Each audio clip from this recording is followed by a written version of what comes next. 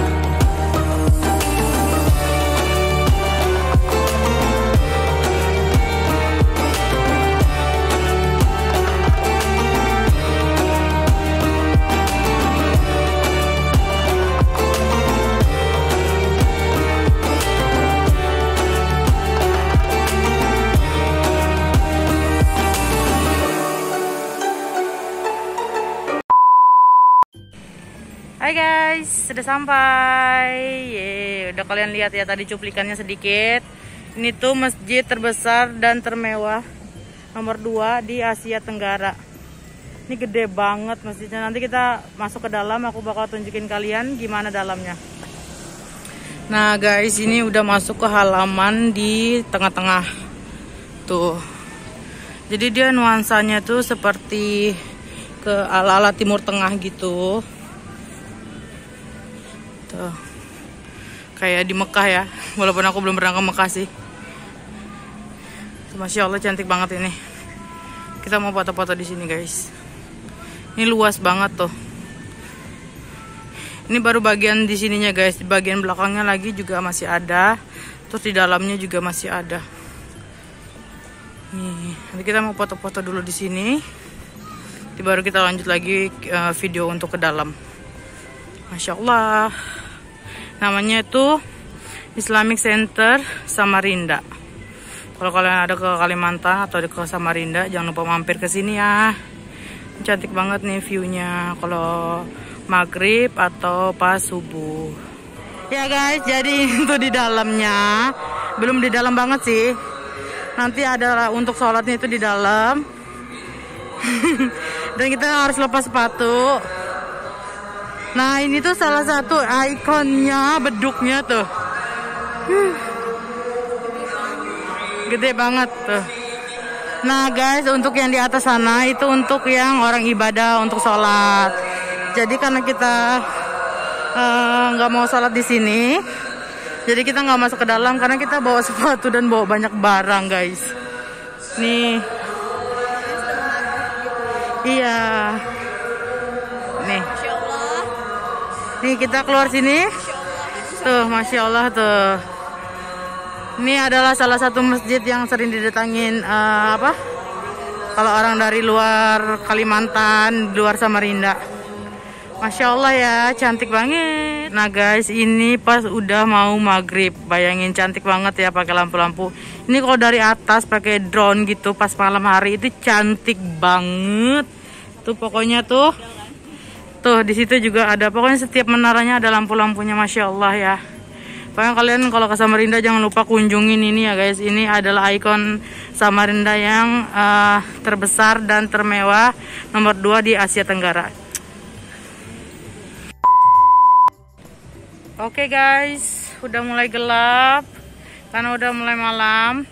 Kita udah selesai di Islamic Centernya. Habis ini kita mau ke Big Mall atau kayak mall yang lumayan terbesar di Samarinda. Itu dekat banget sama di sini. Itu di pinggir laut. Eh sorry di pinggir sungai. Karena di Samarinda nggak ada laut ya guys. Cuma ada sungai mohon maaf. Nanti aku kasih lihat juga kalian sungai Mahakam dan jembatan Mahakam. Itu juga lumayan icon yang lumayan terkenal lah. Ya karena nggak ada lagi soalnya ya. Mohon maaf ya guys ya. Ya udahlah kalau gitu langsung aja kita cek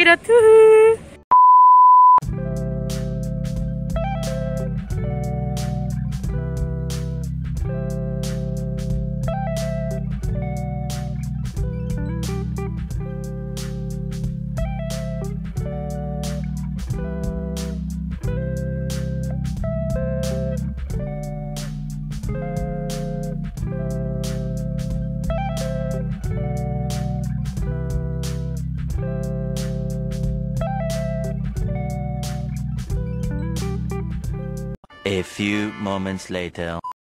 Oke guys, kita udah sampai di Big Mall. Jadi itu salah satu mall terbesar yang ada di Samarinda.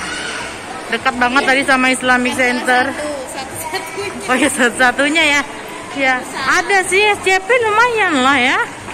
Sama aku belum pernah ke City Centrum, belum pernah. Kalau sempat ke sana tapi kalau nggak sempat ya udah karena seminggu lagi aku bakalan nggak di Samarinda lagi. Sekarang, aduh, mall penuh banget nih lebaran ketiga. Sekarang kita mau masuk ke sini nggak tahu dia mau apa. Nanti habis itu kita mau cari makan. Akhirnya kita ke Miniso. Dan ini sibuk dengan per Iron Man-nya itu. Pokoknya semua yang Iron Man Iron Man. Apa ini batik Ya, ada temannya ini.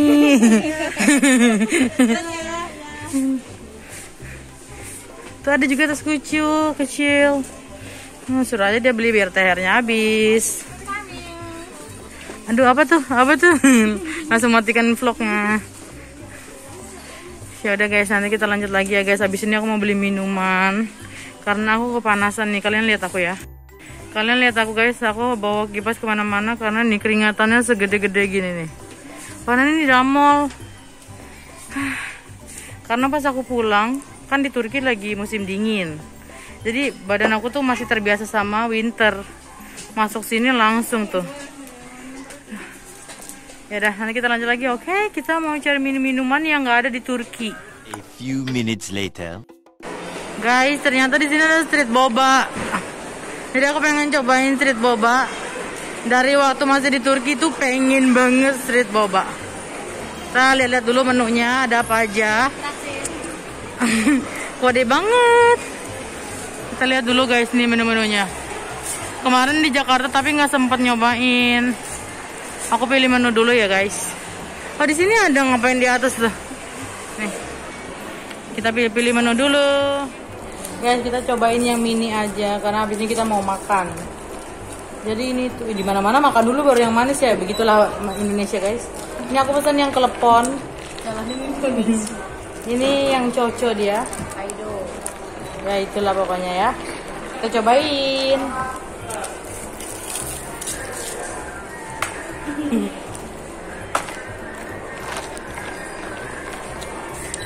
terlalu manis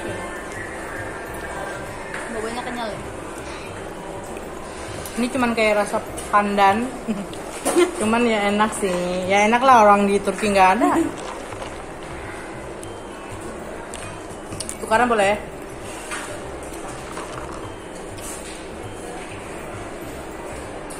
Hmm, nggak terlalu berasa manisnya dan coklatnya. Tapi enak. Enak. Karena di Turki nggak ada guys. telepon kan gitu rasanya ya pandan. iya memang Nah, habis ini kita mau ngebolang lagi cari makan. Pokoknya kita pokoknya ikutin kita terus. Oke guys, kita lanjut lagi cari makan. Surga banget nih, ada Solaria, ada Awe. Tapi dia mau makan sushi katanya. Tuh, ada teh dua daun. Ada dum-dum. ada dum-dum di situ. Kita mau makan Ichiban guys, semoga ada tempatnya ya guys. Tapi terlihatnya sih sepertinya penuh. Semoga ada. Kita tanya dulu. Oke guys, ternyata tuh eh, tadi full. Jadi kita harus waiting list 5 orang. Jadi kita mau ke Artswear dulu, mau cari kipas. Karena di Turki ntar kalau pulang tuh summer. Jadi aku perlu kipas guys, karena summer di Turki tuh panas banget. Di mana ya? Lagi. naik lagi ke atas anu mana di sini nggak ada lift? Eh. adanya eskalator. Aduh ya udah kita nanti kalau udah sampai baru aku lanjut lagi ya guys. Agak bengek nih naik jalan kaki terus bun.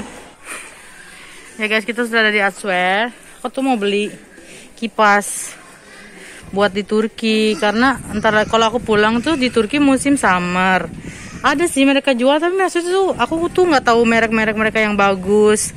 Terus yang kuali, kualitas. kualitasnya eh, kualitasnya itu eh, apa?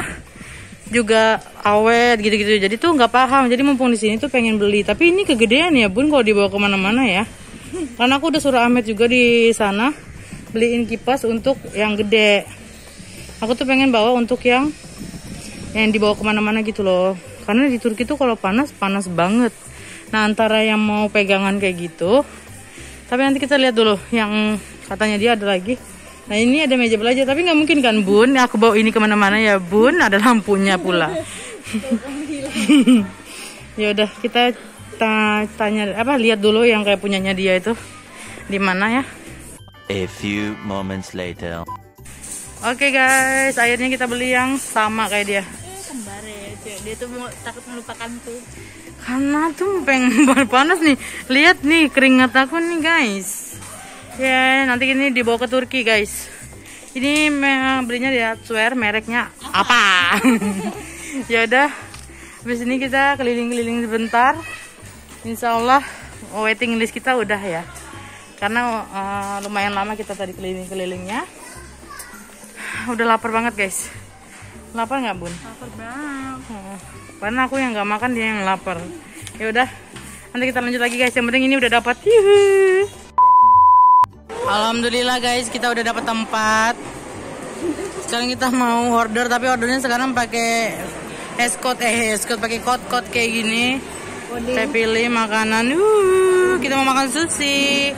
Habis itu kita mau makanan yang lain lagi. Pokoknya ini yang bayarin. Yuhu, iya dong. Kita aku mau puas-puasin guys karena seminggu lagi aku udah nggak di Samarinda. Jadi aku mau puas-puasin yang makanan ada di Samarinda. Terus habis itu masih dua minggu lagi baru berangkat ke Turki. Kita mau pesan-pesan dulu ya guys. Oke guys, sushi kita lama banget datang dan ramennya akhirnya datang. Jadi kita mau cobain ramennya dulu. Tadi sih aku requestnya setengah mateng ya mie-nya, semoga setengah mateng. Kita cobain kuahnya dulu deh kuahnya. Nggak sabar ya. Kita cobain dulu ya guys. Hmm. Ya. Ya. Ini susunya juga udah ada. Ini mah gedenya tempatnya ya. Mohon maaf sayangnya. ya udah kita cobain dulu ya guys. Ayo makan deh. Kita cobain mie-nya guys. Afiyat olsun. Akhirnya guys, sushi kita udah datang. Seperti biasa dia bikin status dulu. Kasih. Kita mau makan dulu ya guys. Nanti kita lanjut lagi videonya. Afiyat olsun. Biar Olsun. 2,000 years later. Hai guys, aku udah di rumah. Tadi tuh rempong banget, jadi nggak sempat video-video karena mallnya udah mau tutup. Jadi kami mau cepat-cepat uh, keluar dari mall. Dan ini udah malam banget, setengah 12 bun. Jadi yang udah ngikutin video kami hari ini, jalan-jalan yang nggak jelas tapi ya lumayan lah ya. Yang menghabiskan duit THR. Ya udah kalau gitu, makasih banyak yang udah nonton video aku sampai sini. So, sampai ketemu di video selanjutnya. Thanks for watching. Bye bye. Hadi görüşürüz.